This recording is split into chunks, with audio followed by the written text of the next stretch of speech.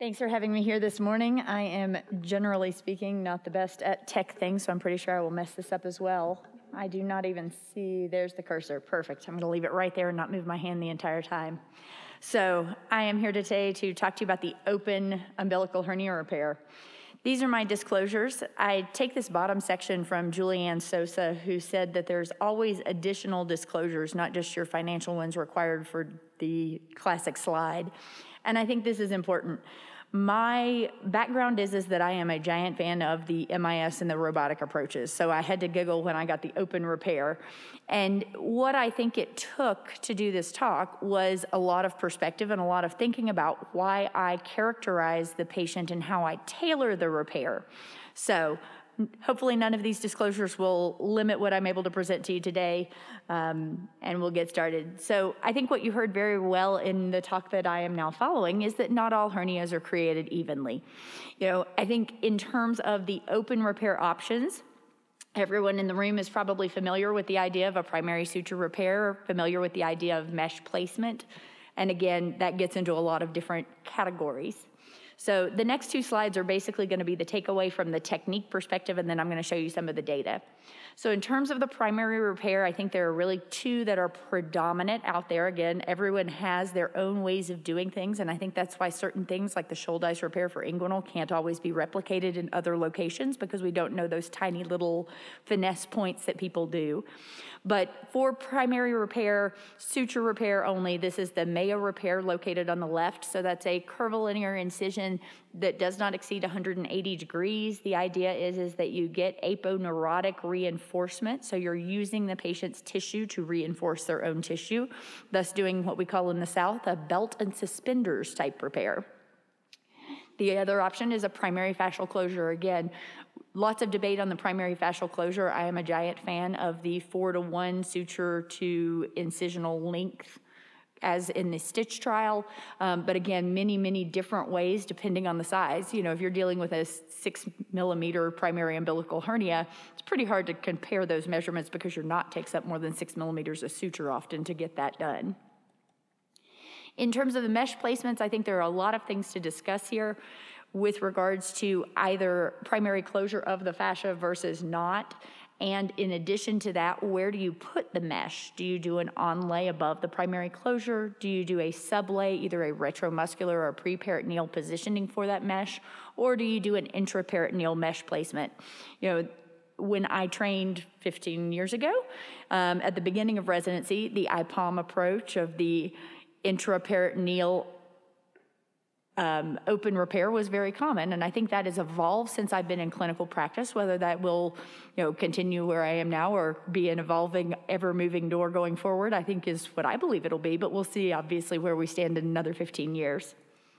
So, looking at outcomes, Open umbilical hernias, primary hernias greater than one centimeter. I think the thing that everybody comes down to between the lap and the open approach comes down to surgical site infections and recurrence, right? Those are kind of the things that we all talk about. When we look at these two groups based on this study from the Danish hernia database, the readmission directly linked to hernia repair was about 6%. What you had was a trade off with the open group having a higher risk for surgical site infections requiring operative debridement, the laparoscopic group having more severe intra-abdominal issues related to that.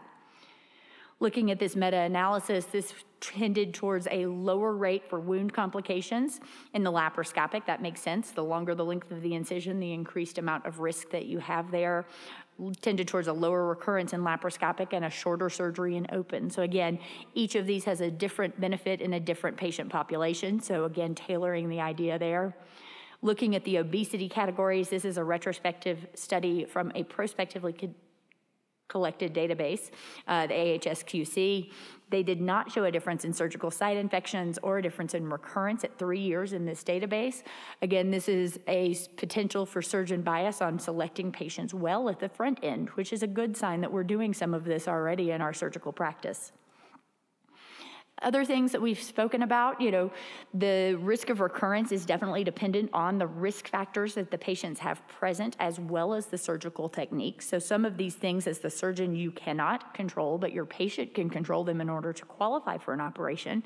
So postoperative infection had a recurrence rate as high as 33% in this study where patients with no risk factors only had a 1.4% recurrence risk. This is the one and only study that I saw focused on umbilical hernias about quality of life. So 585 patients. This did, however, contain recurrent umbilical hernias, which in my world puts them in a true incisional hernia category at that time. But that was the way the study was designed. So I'm going to go forward with how Dr. Heniford used that as I present it to you this morning. The groups initially were not matched, so they did propensity matching scores showing a higher seroma rate in the laparoscopic approach um, and a higher infection rate also in the open approach. But this is the number of patients who had what they would qualify as a non ideal quality of life. So, looking at this, lower is better.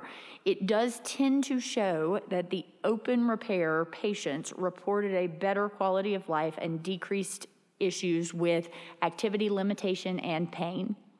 So definitely something that we need some more information on and to look at going forward in the future as we do more of these and try to again get a great algorithm. In terms of the European Hernia Society and America's Hernia Society coming up with guidelines for treatment, this is three years old now at this point in time. So again, everything is evolving. Um, and the Danish study came out after this by authors who are similar and participating in both of these. But one that I thought was important is there a place for sutured repair in the elective setting? You know, yes, we know mesh decreases the risk of recurrence, but as was discussed earlier, maybe you don't burn some of those bridges as you're going forward.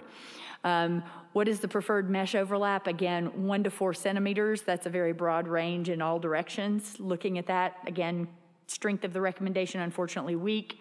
This would be the perfect one if there was a great answer, um, but preferred type of mesh, preferred layer, yes, I wish we had the perfect answer. I think this is a great paper. It does discuss in good depth the pros and cons of each of these. So if you haven't read this paper, I think this is one that will give you a lot of other good leads for looking into the advantages and disadvantages in a lot of these situations. It is definitely more of a summary type paper.